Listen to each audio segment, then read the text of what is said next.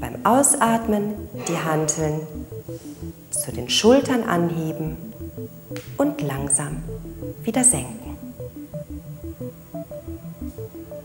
Wieder langsam heben und halten und senken. Ich nenne diese Übung Tütentragen, da wir die hier geforderten Muskeln brauchen, um zum Beispiel unsere Einkaufstüten aus dem Einkaufswagen zu heben. Und wir sind schon bei der 4. Halten und senken.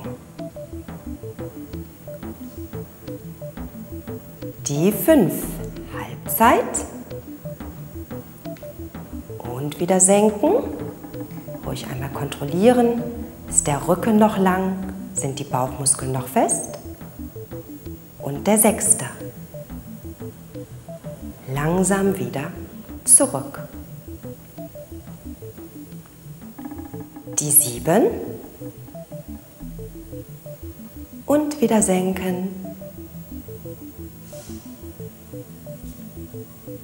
Der achte.